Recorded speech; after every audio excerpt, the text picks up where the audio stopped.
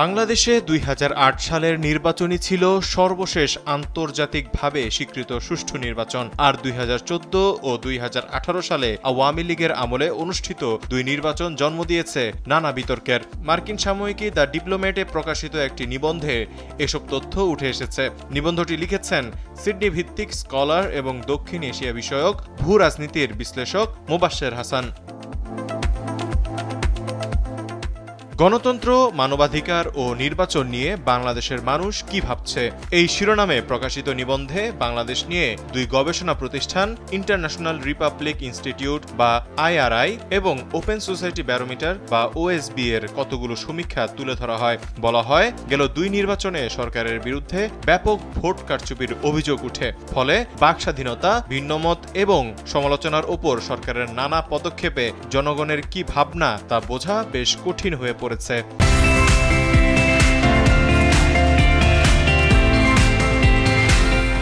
IRI জাতীয় পর্যায়ে পাঁচ হাজার প্রাপ্তবয়স্ক অংশগ্রহণকারীর মধ্যে সমীক্ষা চালায়। জরিপ বলছে, অংশগ্রহণকারীদের মতে বাংলাদেশে গণতন্ত্র নড়বড়ে অবস্থায় আছে। রয়েছে বাক ও সমাবেশের স্বাধীনতা, ভোট কারচুপি, বিরোধী মত দমন, ডিজিটাল নিরাপত্তা আইনের অপব্যবহার, এমনকি প্রাণনাশের হুমকি।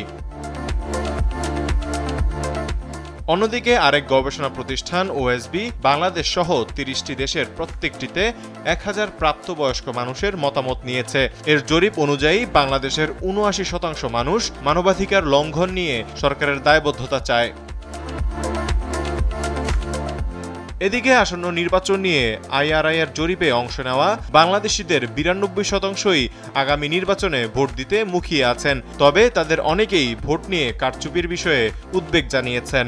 এছাড়া তত্ত্বাবধায়ক সরকার বা নির্দলীয় নির্বাচন প্রশাসনের প্রতি জনগণের সমর্থনের বিষয়টিও উঠে এসেছে আইআরআই এর জরিপে।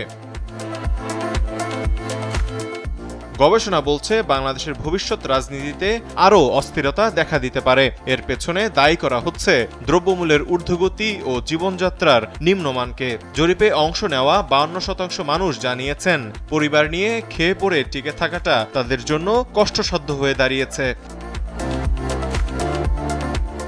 নিবন্ধে বলা হয় রাজনৈতিক দল, আওয়ামী লীগ সরকার, বাংলাদেশের উন্নয়ন সহযোগী এবং নীতি নির্ধারকদের এই দুটি জরিপের ফলাফলের প্রতি মনোযোগী হওয়া উচিত। তৌহিদুল ইসলাম তারেক, কালবেলা।